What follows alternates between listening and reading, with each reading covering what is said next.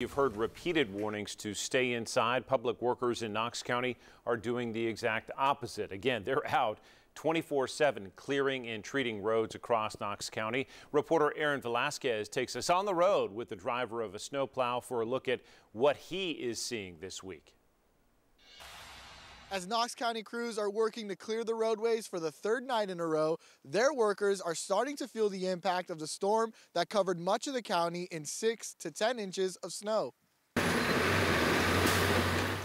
know, their lives and their safety, from my from my perspective, is in my hands. You know, I mean, I can't. I'd, I'd hate if I hit somebody, you know, especially just even by accident.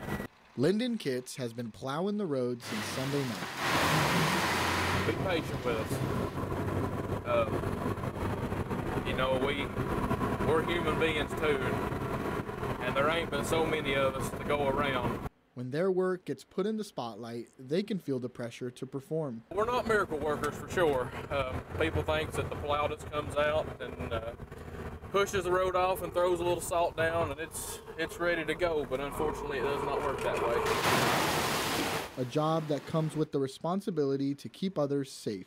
As a plow driver, nobody, we don't want to go home uh, with a with a bad conscience on us, knowing that you know we caused harm to somebody or or uh, caused a death, an unneeded death. With temperatures in the single digits projected overnight, the road conditions are expected to worsen. Kitts tells me that the slickness comes from the moisture that sits on top of the roads, freezing in the low temperatures. Reporting in Knox County, I'm Aaron Velasquez. We are grateful for his work and the work of his colleagues. In just a few minutes, political critics called out the Knox County mayor for opting to campaign in Iowa for former President Donald Trump, while Knox County was seeing one of the biggest snowstorms in recent memory. We'll hear the response from the mayor later in this newscast. Knoxville